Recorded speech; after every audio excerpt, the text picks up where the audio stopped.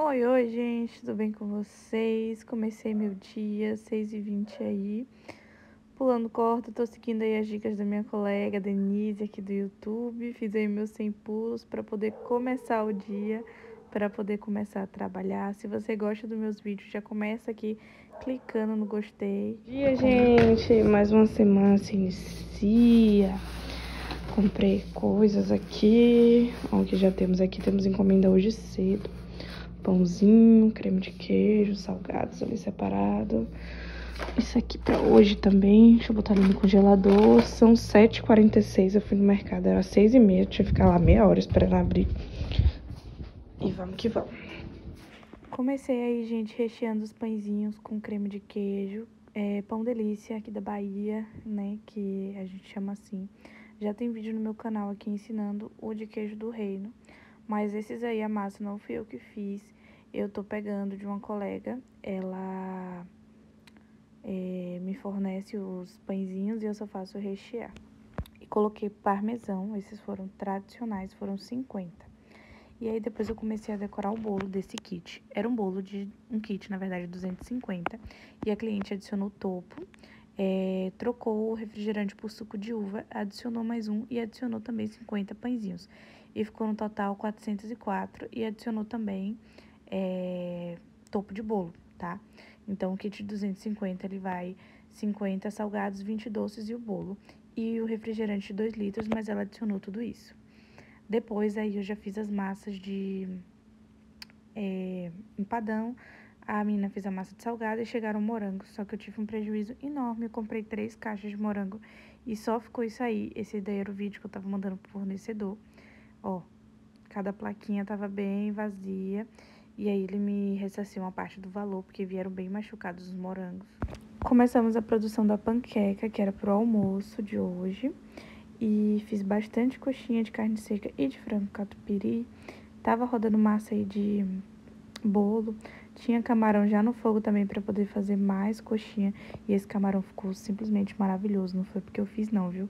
Empadão já tinha saído e começou a tocar pedido. Esse daí com um recadinho fofinho, ó e eu já tinha embalado ele, foi um copo bolo mousse com morango na tampa. Esse copo tá vendendo muito por aqui. Separei mais um pedido que foi um empadão, mais um suco de caju que a cliente pediu. Gente, refeição de hoje saindo aqui, panqueca, arroz e batata frita. Arrasei mais uma vez, gente, nessas coxinhas de camarão. E dá pra vocês aprenderem todas as coxinhas e os meus doces também no meu e-book, tá? Custa apenas 100 reais. Vou montar esse bolo aqui agora pra vender fatia. Tá saindo mais pedido. Vai sair duas quentinhas e um kit de brigadeiro. Começamos a montar mais panquecas e confesso, gente, foi um sucesso. E a gente repetiu o prato no outro dia, aí vocês vão ver. Vendemos todas e ainda tivemos que correr atrás de fazer mais o nosso molho é caseiro, é o mesmo molho da lasanha.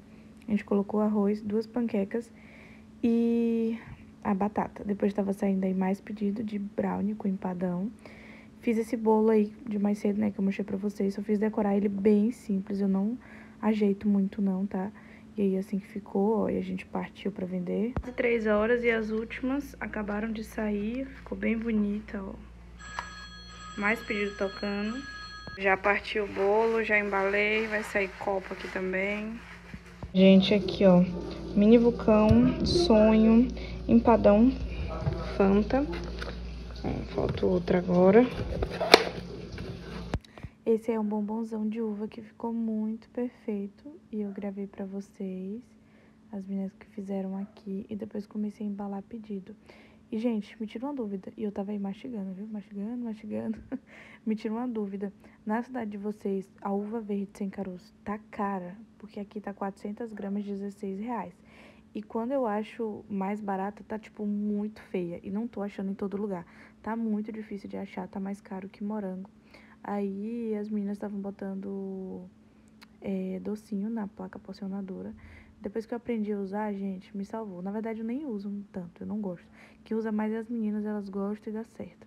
E eu consigo pegar pedido assim em cima da hora. E aí tava saindo coxinha de camarão, bombonzão, refrigerante. No outro dia, gente, já tava saindo pudim que minha mãe faz, arrasa. Muita gente tem dúvida, minha mãe trabalha comigo, tá? Olha, ela fez massa de panqueca também, muita coisa que sai da mão dela, tá? Graças a Deus que eu tenho essa ajuda. E, gente, tô trabalhando de crop de short mesmo, viu? Dentro da cozinha ali, ninguém me vê. E tá um calor, gente, mas tá tão calor esses dias, tão, tão, tão calor. Tá muito, muito, muito calor. Tá inexplicável de calor. E aí comecei a é, partir os pudins. Eu parto em 12 fatias, eu tenho o um moldezinho que eu comprei no Mercado Livre. E quando a gente faz é, duas receitas, a gente vende a 9 reais a fatia. Quando a gente faz duas receitas e meia, aí a gente vende a 10 reais, porque fica mais alto, fica, vai mais, né?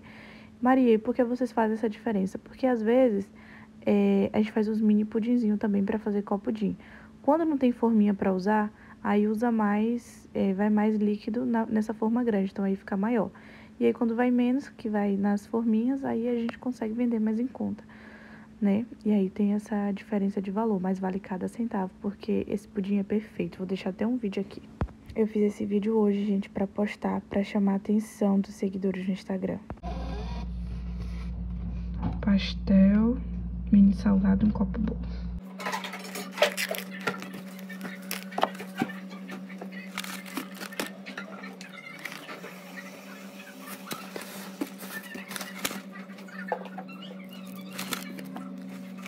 Gente, chegaram vários pedidos aqui agora. A gente já tá começando a sair as quentinhas. Olha, gente, as últimas saindo. Não deu pra quem quis. Olha que coisa linda, gente, que ficaram essas quentinhas. E hoje esgotaram todas novamente, tá? E aí eu tava montando um pedido. A gente monta tudo na hora, viu, gente? Era uma coxinha ferreiro. E aí já tava embalando também é, empadão, certo?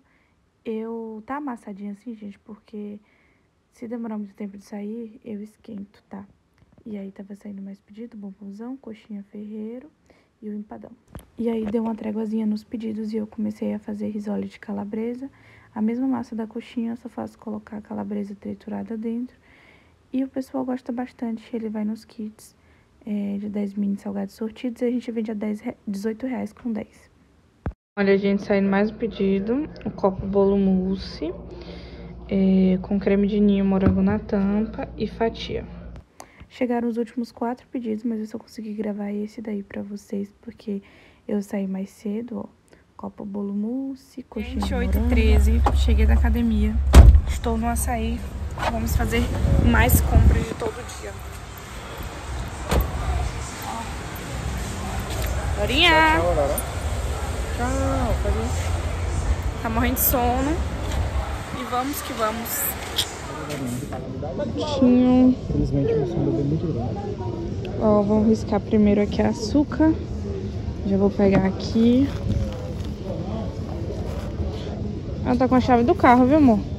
Tá ligado. Fica aí, amor, espera.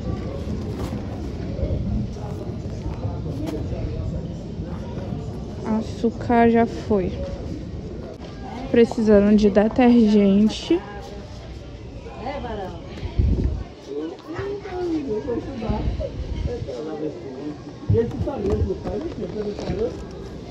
Ó, gente, meu detergente favorito é esse daqui. Tem um cheirinho muito, muito, muito bom. Risca aí, meu detergente. Enquanto isso, a fica aqui, ó. Mexe em tudo.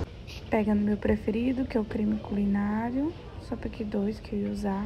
Mas quando eu tenho dinheiro eu pego estoque, gente, porque vale muito a pena. Peguei um fardo de fina, é, sem fermento e três com fermento. E peguei leite condensado também, peguei desse daqui. Hoje tá bem sem opção aqui de leite condensado, viu? E aí eu tentei pegar esse, que esse tem 4% de gordura, se eu não me engano. Toma, botei na sacola. Ajuda, papai. Que linda. Em casa, gente. E assim finalizamos mais um dia. Ai, muito cansativo, mas gratidão. E espero que vocês tenham gostado. Um beijo e até o próximo vídeo.